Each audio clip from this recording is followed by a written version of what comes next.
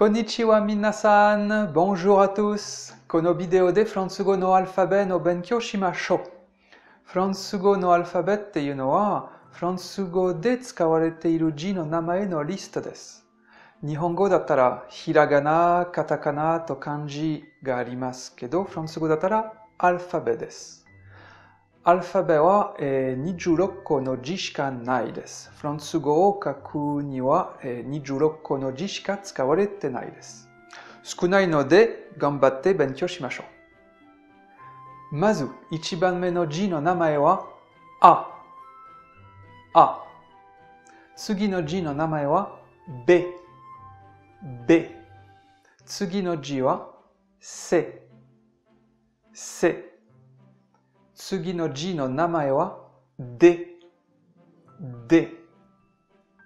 A, B, C, D は日本語と似ていますが、いつもフランス語の方が強いです。力を使って日本語より強く発音するので、あいうえおのあじゃなくて、フランス語のあは、あ。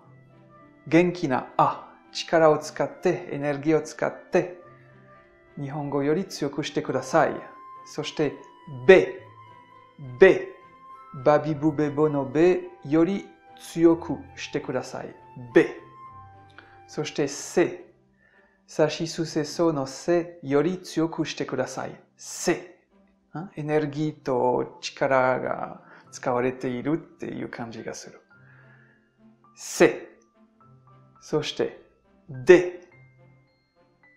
で。今まで日本語と似ていますけど、今から日本語と似ていない発音が出ます。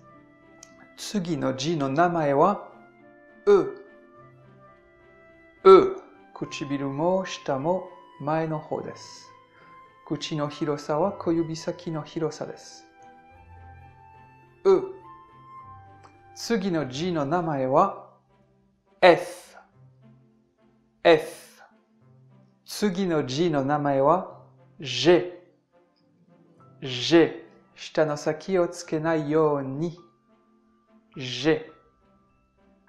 フランス語のアルファベはフランス語で使われている字の名前ですけど、それぞれの字の読み方とする発音の練習は他のビデオでしましょう。とりあえず、えそれぞれの字の名前だけの勉強しましょう。それでは、続けましょう。J の次の G の名前は H。H。次の G の名前は I。I。日本語のあいうえおのいみたいですね。もちろんフランス語だから日本語より強く発音してください。い。エネルギーと力を使ってくださいね。次の字の名前は J。J。この字をの名前を言うには、えー、下の先をつけないように後ろにしてください。じ。次の字の名前は、か。か。次の字の名前は、L。下をちゃんと動きますね。L。次の字は、M。唇をちゃんと閉める。M。次の字の名前は N。N。歯に下の先をつけてくださいね。N。そして次の字の名前は O。O。日本語のあいうえおのおと同じですけど、フランス語だからもちろん日本語より強く言ってください。おそして次の字の名前はペ。ペ。パピプペポのペみたいですけど、もちろん強くしてください。ペ。次の字の名前はク。ク。口の中に狭くて、下は前にする。ク。次の字の名前は R。R。ここも R は喉の中にある唾を上げるようにうがいするときみたいですね。R。次の字の名前は S。S。次の字は手。手。次の字の名前はう。先のうとうの違いは、えー、口の広さです。と強さ。うの方が広いです。うの方が狭いです。狭いので空気がなかなか出ないので強くもっと強く空気を出さないといけない。う、う、う、う。そして次の字の名前はべ、べ。上の歯を下の唇に置いてちゃんと声帯を震わせて、べ。次の字の名前は W。W。少し長い名前なんですけど、double っていうのは2倍っていう意味です。V っていうのは先の字の名前です。V っていう字が2倍あります。2つありますっていう意味です。W になります。簡単な名前ですけど、ちょっと長いですね。もう一度、W。次の字の名前は X。X。次の字の名前は Y。Y。この字の名前も少し長いです。いっていうのは、いっていう字の名前です。そして、グレックっていうのはギリシャ語っていう意味です。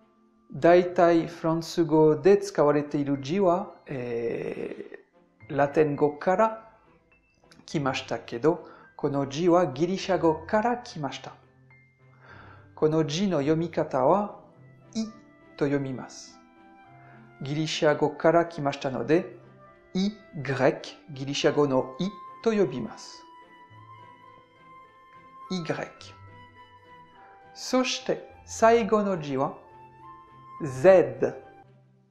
z。この字は26個目の字でした。フランス語のアルファベっていうのはフランス語で使われている字の名前です。英語と同じ字が使われているなのに字の名前は違う。字の読み方も違います。それぞれの字の読み方、えー、発音の作り方、他のビデオで勉強しましょう。とりあえずフランス語のアルファベを頑張って勉強してください。